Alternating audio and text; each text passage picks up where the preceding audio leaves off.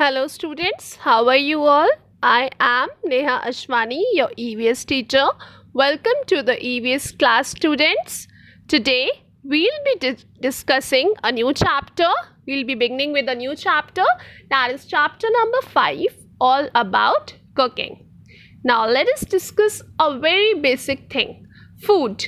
As you all know, food is our basic necessity.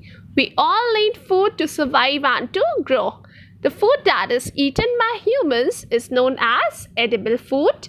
The food that we eat is either raw or is either cooked.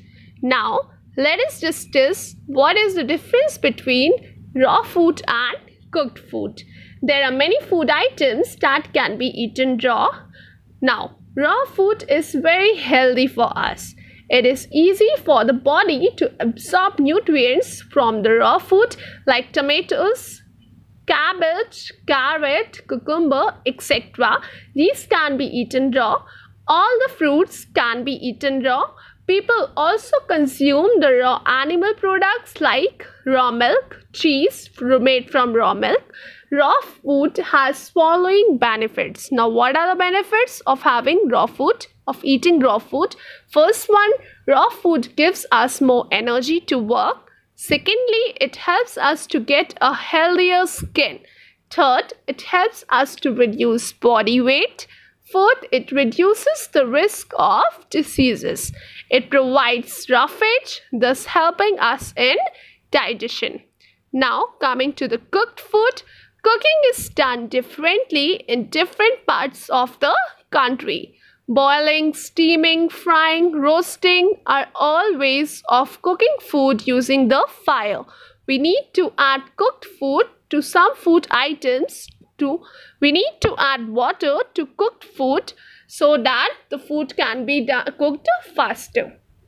Now, an example is potato. You can see that boiling a potato is faster than baking it.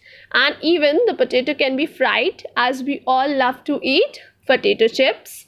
Now, all the food items that we are eating, the way we are cooking depends on how we want to eat it. Now, what are the benefits of cooking the food? First one, it may kill the germs that the raw food may contain. Second, boiled water is also safe to drink and the cooked food also makes the food easier to digest. Cooking makes food taste better. Cooking makes food looks attractive. We'll also always prefer to eat cooked food because it looks attractive. It looks appealing to our eyes. Now where various methods of cooking. There are various methods of cooking. Like we have baking roasting frying grilling boiling and steaming. Now coming to the first one we'll discuss about roasting the roasted food tastes better than the boiled food. Roasting is a method where we use the dry heat and open flame, oven or other heat sources.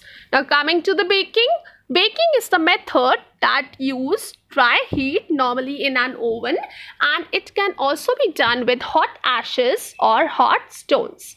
Now coming to the next one that is boiling. Boiling is the easiest way to cook.